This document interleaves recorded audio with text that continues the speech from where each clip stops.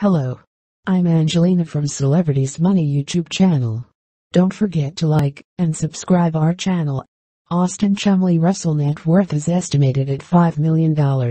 Russell widely known as Chumlee is an American reality television personality.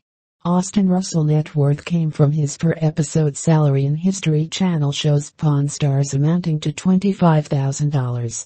He started working at Gold and Silver Pawn Shop, where he did behind-the-counter work for five years before its first filming and premiere in July 2009, a step which became crucial to Austin Chumlee Russell net worth.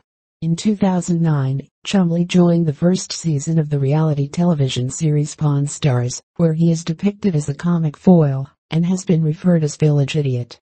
As a result of his breakout character, he formed his own company selling novelty items such as t-shirts which he himself designed.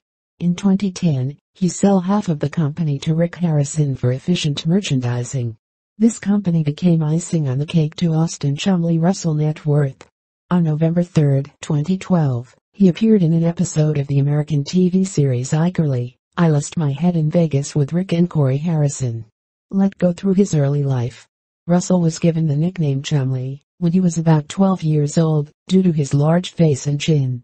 The father of one of his friends once stated that he looked like the walrus, Chumley, from the animated TV series Tennessee Tuxedo. As a child, he became good friends with Corey Big Hoss Harrison, whose father, Rick Harrison, and grandfather, Richard Harrison, opened the world-famous gold and silver pawn shop in 1989. Russell and Corey often spent time in the pawn shop as children, Chumlee enjoys collecting shoes, as he owns more than 200 pairs. He also enjoys sports, the Pokemon TCG, video games and skateboarding. He is a fan of both punk rock music and rap music. He is a fan of the TV series Boardwalk Empire, Sons of Anarchy and Breaking Bad. 22 He also enjoys driving his 1986 Buick Regal, which he has customized with hydraulic lifts on the front and back. He also owns a Rolls-Royce Phantom a Maserati Gran Turismo, a Cadillac Escalade, Range Rover, and a